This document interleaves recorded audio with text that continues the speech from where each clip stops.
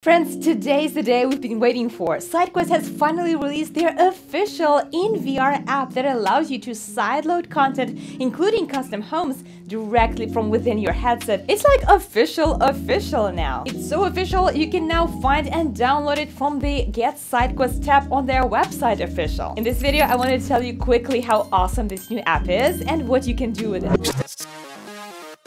For starters, it has a step-by-step -step guidance that helps you not only connect your Quest to your PC and set up SideQuest, but actually troubleshoot your issues. So for example, if your Quest isn't connecting, you don't have to wonder anymore why it's happening. The status bars here show what exactly is blocking your headset from being connected, be it a disabled developer mode or ADB permissions or even a faulty USB cable. That will make it infinitely easier for all new users to get started with SideQuest. Next, it has this button and by clicking clicking on it, the InVR headset app will be automatically installed onto your headset, literally by clicking just one button. As before, this app will be shown in the unknown sources and you will need to link it to your SideQuest account after you run it for the first time. The app will give you your code and on your computer, make sure that you've signed into your SideQuest account, put in your code here, and that's pretty much it. Your account is linked. All the SideQuest apps are right here. You can sort them, you can look through all of them, including custom homes,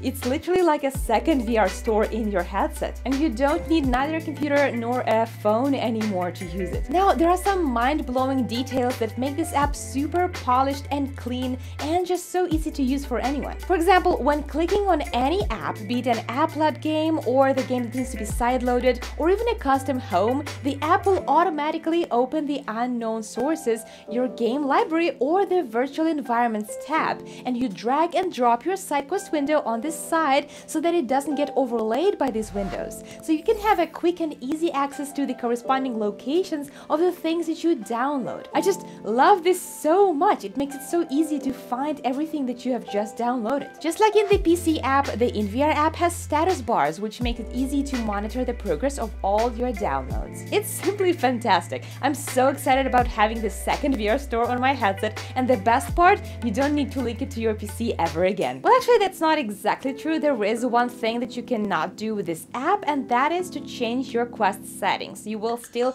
need to link your Quest to your PC to do that, but this launcher has a specific tab from where you can adjust any settings that you want, such as refresh rate, texture resolutions, and so on. Another cool app that this app does is install VR game ports very easily. You don't need to manually transfer files from your computer to the headset anymore to play games like Doom 3, Quake 3, or Return to Castle Wolfenstein in VR. You can do that by clicking on this corresponding game profile built into the app. And that's pretty much it. As long as you have the game downloaded on your Steam account and you have side-loaded the port from SideQuest, then you just click the button of the corresponding profile and the files will be transferred automatically. I'm so freaking excited about this app. For me, this is literally the best thing that happened to Quest this year, and I just love SideQuest so much for that. They worked tirelessly to bring this new app to life so that we can all enjoy it. Check out their full official video describing the app in more detail on the SideQuest YouTube channel. It contains a lot of useful information and more specific instructions on how to use that app.